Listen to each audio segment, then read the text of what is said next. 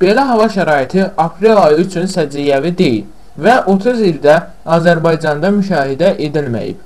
Biqaz xəbər verir ki, bu barədə Onaya Coğrafiyanın İnstitutunu Elmi İşlər üzrə direktor müavini, coğrafiya üzrə fəlsəfə doktoru Məhərrəm Həsənov deyib. O bildirib ki, havanın mövsümə görə soyuq keçməsinin səbəbi soyuq şərqi Avropa düzənliyi üzərində aktiv hava kütlələrinin hakim olmasıdır.